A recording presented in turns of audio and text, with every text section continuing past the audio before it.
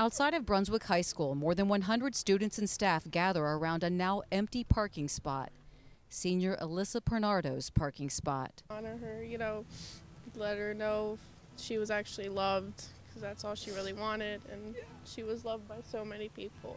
Paige and Kayla's best friend. It was always so goofy. Always goofy. If you were upset, she would just do anything in her power and will just to make you laugh and smile. Cared about by everyone. She made everyone laugh. it was our trio. yeah. Brunswick police say the 18 year old was shot and killed Tuesday night by her boyfriend, 18 year old Logan Robertson, who was arrested for murder. Derek Zelenka is the school resource officer. Alyssa was a sweet kid. She um, she's going to graduate next week, and uh, she's very generous, very fun.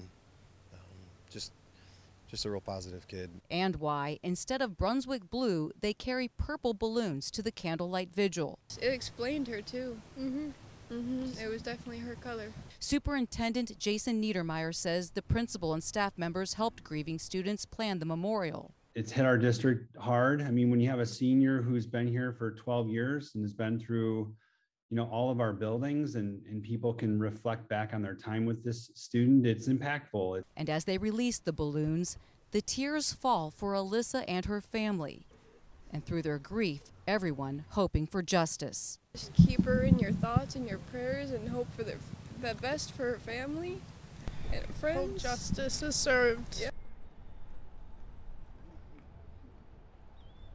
in brunswick suzanne stratford fox 8 news